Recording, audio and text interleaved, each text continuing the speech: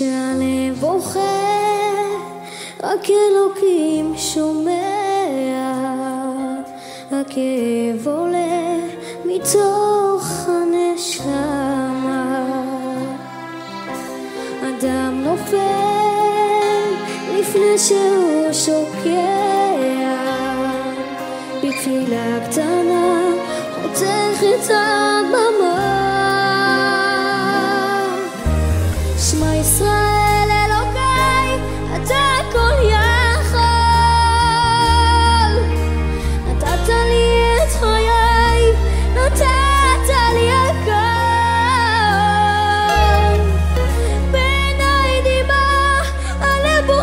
שקט וכשהלב שותק הנשמה זורקת. שמע ישראל אלוקיי עכשיו